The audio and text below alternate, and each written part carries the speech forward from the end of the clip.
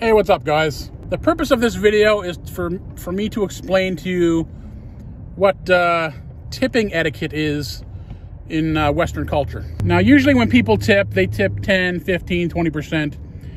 And you're supposed to tip when, when you get uh, delivery to your house, like, uh, you know, foods delivered to your house. Or if you sit down in a restaurant and get uh, served by a waiter, that's when you tip.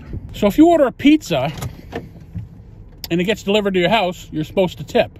But if you go to the pizza place and uh, you get takeout and you walk in for your pizza and pick it up, you're not supposed to tip on uh, on pickup. That's not that's not Western culture. But what I've noticed now is when you go into stores, every single store has um, these these uh, little terminals to pay with your card, and the first thing that, that comes up is tip, tip, tip. So people are expecting a tip even when you're uh, picking up and you're not uh, getting delivery or you're not getting uh, dine-in service. You don't tip on pickup.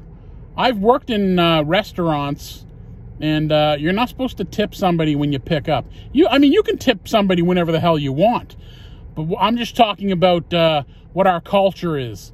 And for Western culture, you don't you don't tip on pickup or takeout. But a lot of people now, I think they're expecting to be tipped every time you pay for something because that's what the machine says as soon as it comes on. So I don't know uh, if you guys understand what Western tipping culture is, but uh, you only tip on when you're eating in and getting served by a waiter or a waitress, or if you're getting home delivery, like uh, the pizza guy delivers to your home, then you tip. So yeah, don't be expecting a tip for if somebody walks in and they're ordering takeout, because that's that's not uh, that's not Western tipping etiquette. Okay, guys, now you know how to tip in the West. Peace.